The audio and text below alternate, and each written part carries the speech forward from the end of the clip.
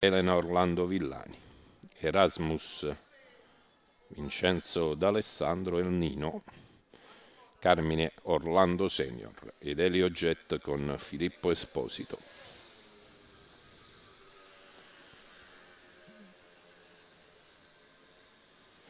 già completato l'allineamento quando mancano più di 200 metri alla chiusura delle ali.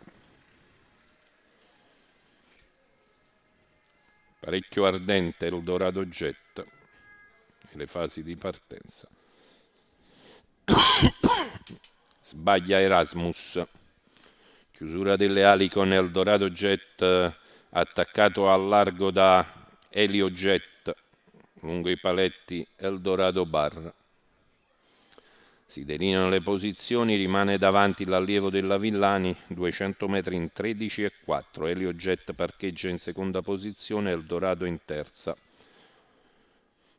Chiudono Ebanon Jet e Del Nino. Volato il quarto iniziale in 27,9. A grande andatura Eldorado Jet va a completare 600 siderali. In 43,1 si viaggia a media di 1,12 scarsi. Si è un po' scatenato il figlio di Twister B e Rangona Jet che arriva a metà gara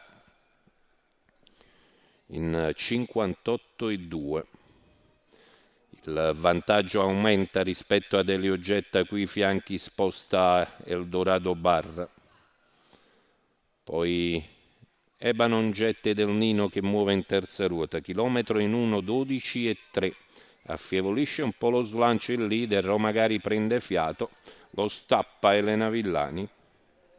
Si arriva così ai tre quarti di miglio, ultimati in 1,27 eh, con 14,7 di ultima frazione sul passo Eldorado Bar è incisivo e prova l'aggancio al leader, la rottura di Elio Jet retta d'arrivo, Eldorado Jet in vantaggio, arriva Eldorado Barra, arriva il Nino, arriva Ebanon Jet, arrivano tutti.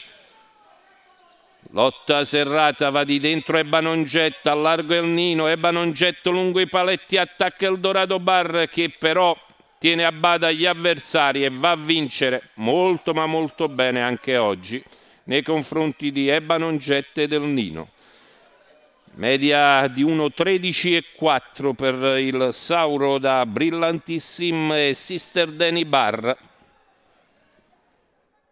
I colori della Orizzonte Resort, il training di Vincenzo Castiglia, soprattutto la guida ispirata di Ciro Ciccarelli, tre cavalli molto vicini, Eldorado Bar su Ebanon Jet e Del Nino.